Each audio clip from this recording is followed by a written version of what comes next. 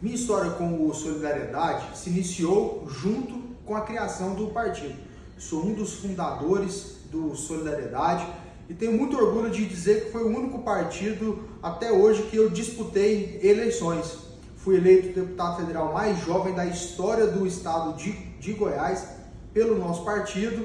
Também tive o privilégio de ocupar posições importantes que o partido me deu na Câmara dos Deputados fui presidente da Comissão de Desenvolvimento Econômico, Indústria, Comércio e Serviço e também fui líder da bancada de deputados na Câmara dos Deputados por dois anos consecutivos. Enfim, a minha história política se confunde com a história do Solidariedade.